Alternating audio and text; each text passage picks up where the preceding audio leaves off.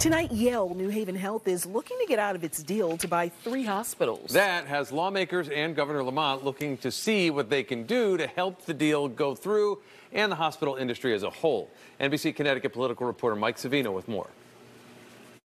With Yale New Haven's bid to buy Prospect Medical Holdings once again in doubt, Democrats and Republicans say addressing health care is a priority next year but they question whether or not Governor Ned Lamont can be an ally. I think we have a real problem with the Office of Healthcare Strategy. Democrats said this week they think there's a high level of distrust between the hospital industry and Lamont. Republicans went even further, directing sharp criticism toward Deirdre Gifford, the head of the Office of Healthcare Strategy. That's something that I've never seen before, continually being moved from one agency to another, and there continues to be problems that are following this commissioner. Lamont defended Gifford, he and the hospitals also say their relationship is fine. Hey, I came in the office. The hospitals and the state government weren't even talking to each other. All they were doing was suing each other. That um, is uh, very clear. From we worked very well together in uh, during COVID. They do disagree on key issues. Lamont, for example, wants tighter rules around hospital deals and expansions,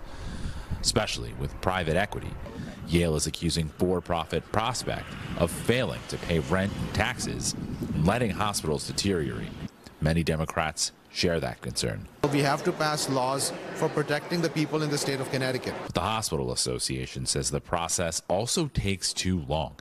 Yale New Haven Health waited over a year to get approval for its Prospect deal. Instead, hospitals say the state should raise Medicaid rates and help struggling hospitals. They hope to have productive talks before next year's session starts. I think we can make some headway um, before the next legislative session gets underway. From the Capitol, Mike Savino, NBC Connecticut News.